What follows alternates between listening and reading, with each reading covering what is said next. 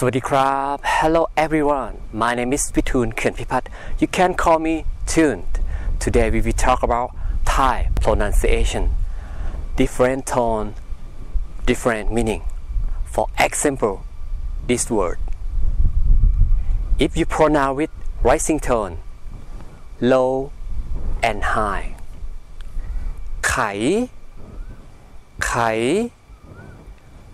ไข Khai means unlock something, such as unlock the door. Say in Thai, Khai pratu.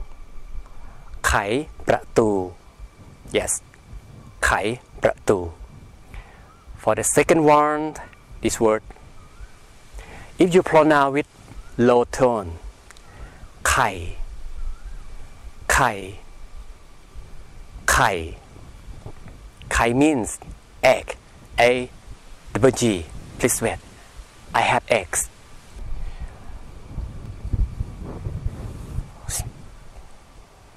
ฉันมีไข่ ฉันมีไข่ ผมมีไข่ ผมมีไข่ Okay for the last one if you pronounce falling tone high and low ไข้ ไข้ไข้ไข้ means fever when I have a cold I have a fever ผมมีไข้ ผมมีไข้ ฉันมีไข้ ฉันมีไข้ ผมมีไข่ ผมมีไข้ ผมมีไข่ ผมมีไข้ different tone different meaning thank you for your watching ขอบคุณครับ